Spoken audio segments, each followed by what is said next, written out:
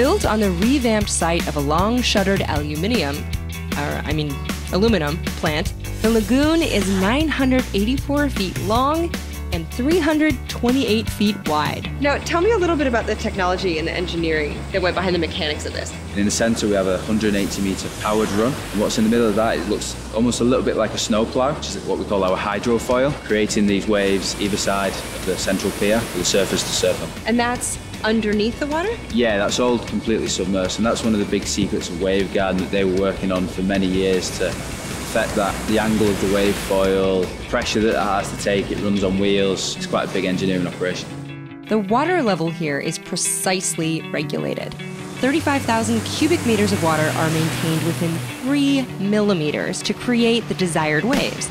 The shores surrounding the lagoon are carefully designed to capture and redistribute the water so that the waves quickly dissipate. You're looking at one of the most dangerous situations law enforcement faces on a daily basis the police chase. The risks involved with trying to stop a pursued vehicle without hurting its driver or anyone else are high. One enterprising individual decided to do something about it, creating a patented netting and tether that entangles a rotating tire, grinding it to a halt.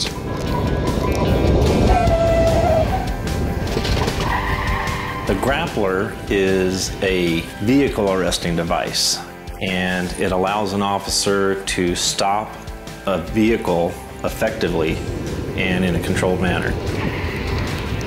What is the E1 timepiece? What we designed is a wristwatch that doesn't require vision. So you can tell time by either touching or seeing the timepiece. What inspired you to invent this? Yes, so it started when uh, I was a grad student. One of my classmates was blind, and whenever I sat next to him, he had to poke me and, and whisper to me to ask the time. That's when I realized that uh, all the watches and uh, clocks require vision, so he had to rely on asking other people.